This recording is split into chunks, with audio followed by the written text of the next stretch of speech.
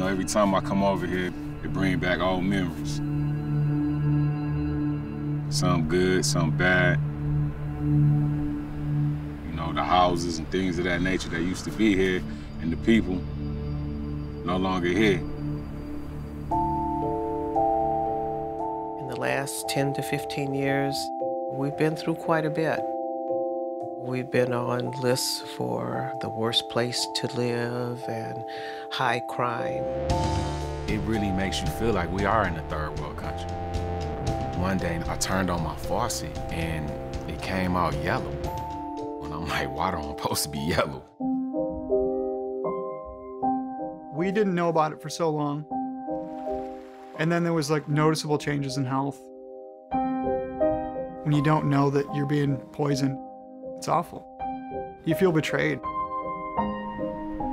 We ain't gonna understand this until we look up 5, 10, 15 years down the road. Our lives will never be the same again.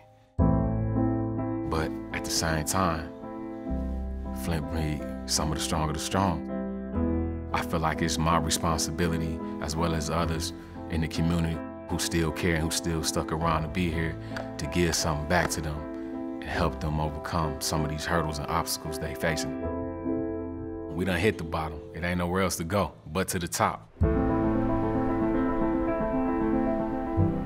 The people of Flint are resilient people.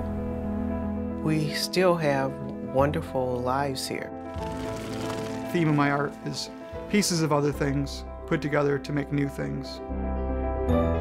I really like when someone sees something I made and they look at it and they're like, where does this come from? When I began working in clay, one of my instructors stated that you always need to know the end product. I really believe that as in clay, starting with just a clump of dirt, that we will begin to see something very beautiful come out of what's going on in Flint. You know, I took so much in, in my former life, seeing how many families I helped destroy. That motivates me to try to be a part of the solution. And what you want to be when you grow up?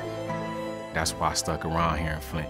Despite the situation, these are gonna be the individuals that's gonna rebuild the city of Flint and have a big stake in it.